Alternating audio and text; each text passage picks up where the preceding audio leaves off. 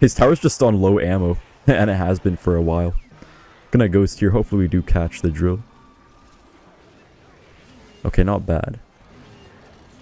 Evo Battleram here is our last hope, honestly. Gonna freeze, then quickly zap. Oh no. Man, Evo Tesla might be the counter people needed to Evo Battleram. I feel like we lost already. He's just gonna cycle like two poisons, I don't know. Oh, the ghost isn't even helping.